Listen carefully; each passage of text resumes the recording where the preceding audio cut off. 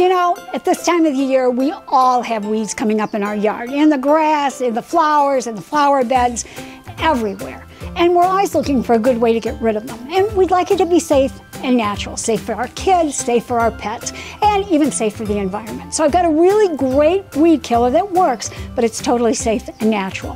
What we're going to take is two cups of white vinegar, and you can put it in any container that you want to. You just need it to be able to hold about two cups.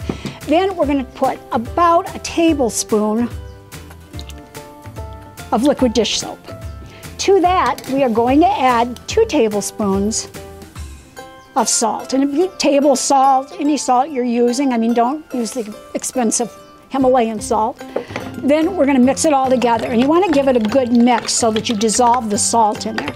So give it a stir for a couple of minutes. When you're done, you're gonna wanna put it into a sprayer. Now, that can be like this little garden sprayer that I have, that's a pump sprayer.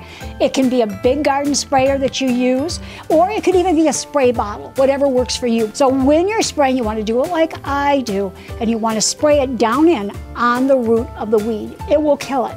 And it will not keep you from growing flowers there again. It does not sterilize the soil, so you can plant your petunias or anything you want, and it will grow. So give this natural weed killer a try. I think you'll be really pleased. For more information, go to queenofclean.com. Thanks for talking dirty with the Queen of Clean.